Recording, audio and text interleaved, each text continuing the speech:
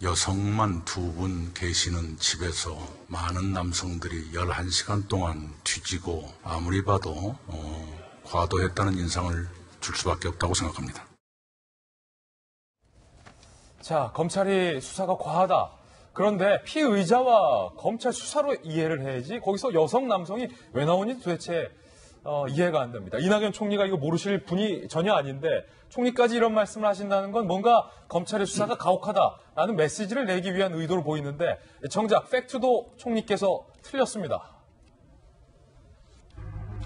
아니 그러니까 200만이냐 100만이냐 이런 거 따지기도 싫고 여성만 둘이냐 셋이냐 이거 따지기도 싫은데 자꾸 총리든 누구든 사실과 다른 말씀을 하시면서 뭔가의 어떤 그런 이미지를 강조하시니까 따져보지 않을 수가 없어요. 이 총리는 여성만 둘이라고 하셨지만 아들의 변호사까지 당시 조국 장관 자택에 있었던 조국 측만 여섯 명이었다는 거예요.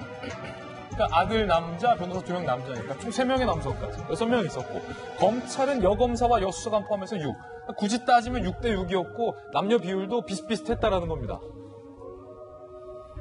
그리고 11시간 압수수색 두 차례 영장 발부했고 실제 압수수색은 6시간밖에 안 걸렸다라고 지금 얘기를 하고 있는데 어, 법조계에서는요 사실도 다르지만 설령 그랬다 해도 현 정권이 그런 말을 할 자격이 있느냐 이재수, 변창훈 압수수색과 비교하면 인권을 상당히 존중해 주는 것이다 라고 얘기했는데 총리께서 왜 그러셨을까?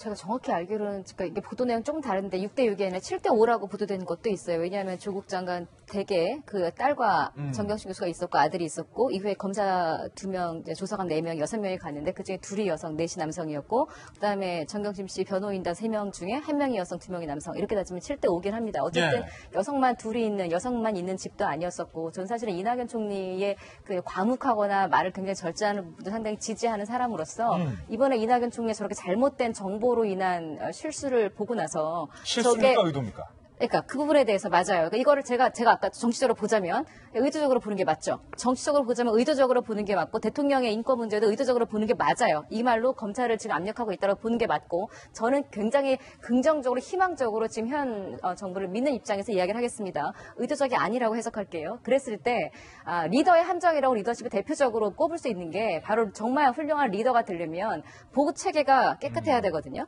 지금 저건 사실은 이낙연 총리 바보 만든 저 보고를 올리신 분이 잘못하신 거고 만약에 이낙연 총리가 뉴스만 보고 말씀하셨다면 경솔하셨던 거죠. 그리고 정확하게 지금 오히려 이렇게 팩트가 나옴으로써 그 과묵하고 그 절제된 말을 하고 뭔가 신뢰성을 있는 이낙연 총리 자체도 지금 이미지 타격이 있다고 보는데 어쨌든 의도적으로 했다라면 굉장히 나쁜 행동이 있고요. 근데 제가 지금 그렇지 않다라고 해석을 하는 것 자체는 왜 이럼에도 불구하고 심지어 11시간이라는 수치, 아까 뭐 200만 명이라는 수치, 저 사실 그 얘기 아까 하고 싶지 않았거든요. 그래서 제가 갑자기 답변을 좀 다른 쪽으로 했던 건데 그렇게 소모적으로 불필요하고 핵심도 아닌 걸로 이렇게 시간을 낭비하는 게 저는 아까워요. 그러니까요. 지금 문제 있는 거 얼른 수사하고 검찰 개혁이니 뭐니 그래 검찰 개혁하고 그 뭐 불법적인 뭐 사무소 위조니 무슨 뭐 자본시장법 위반이 이거 조사하고 음. 둘다 하면 돼요. 검찰 개혁도 하고 수사도 하면 돼요. 근데 꼭 뭐 하나는 선이고 뭐 하나는 악이고가 얼마나 지금 우스운 맞아요. 어, 국민들을 정말 수준 낮게 만드는 정치 공방입니까? 저는 이 부분에. 대해서 좀 예. 세게 이야기하고 싶었던 것이고요. 예, 그렇습니다. 이낙연 총리 얘기는 조금 네, 전 리더십 부분에서 오히려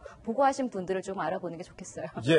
자, 박정희 대변인이 또 이런 건 또 잘하세요. 청와대도 있었고 네. 또 정무부 지사도 하셨으니까 이 총리가 동아일보 기자 선배잖아요. 그러니까 제가 선배에 대해서 뭐라고 못하니까 얘기 좀 하세요. 총리께서는 언론인 출신으로 감각이 굉장히 뛰어나시군요. 그리고 전날 아까 앵커 소개했던 것처럼 그 조국 조국 장관에 관한 수사에 대해서 좀 음, 너무 과하게 하고 이- 이- 과하게 하고 있다는 비판에 대해서도 비판적으로 말씀하셨던 예. 그런 분이어서 그래서 많이 소개가 됐는데 저게 딱 하루가 바뀌자마자 저런 그 보도가 지금. 나와요.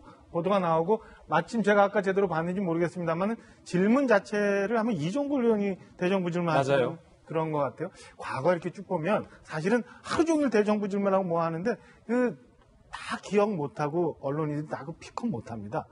딱 정리된 정해진 부분에 잘 들어봐라고 이렇게 슬쩍 사인을 주는 경우도 있어요. 음. 어쩌면 어쩌면 이건 가정의 가정을 가, 는 거니까 총리실에서 아니라고 할 거고 저기 그 우리 이종걸 의원님도 아니라고 할 가능성은 높지만 제가 의심의 가정을 여러 가지 섞어서 하면 이종걸 의원님이 이런 질문을 할 테니까 총리께서는 이렇게 답변을 하세요라고가 사전에 혹시 시나리오 있었던 건 아닌가라는 합리적 의심도 한번 해보고요. 음. 그렇지 않고라면은 이낙연 총리께서 저렇게 그 하루 만에 입장을 바꿔서 답변을 하셨을까? 라는 생각이 듭니다. 저는 의도성이 분명히 있고 이게 어떤 파장을 일으킬 거고 어떻게 메시지를 전달해야 되는지 저는 총리께서 너무나 잘하는 상황에서 말씀하셨을 거라 이렇게 생각이 듭니다. 예, 총리께서 압수수색 절차에 대해서 모르시는 분이 아니시거든요.